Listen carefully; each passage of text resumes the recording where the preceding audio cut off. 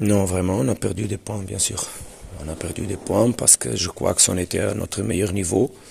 Et c'est important de comprendre qu'en Tunisie, où tu joues dans un autre niveau, quand tu joues à l'extérieur et contre les équipes comme ça Tunisien, qui sont des meilleures équipes qui l'année dernière étaient au playoff, donc euh, tu, tu, tu vas rater quelque chose.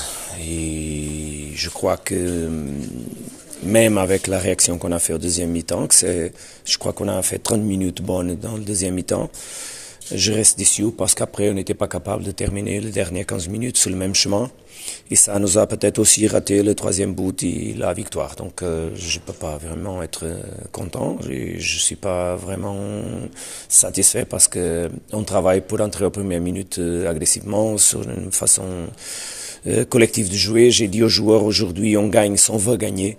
C'était l'expression que j'ai utilisée. Je les ai utilisées aussi. On est beaucoup plus ensemble que la, la somme de notre part.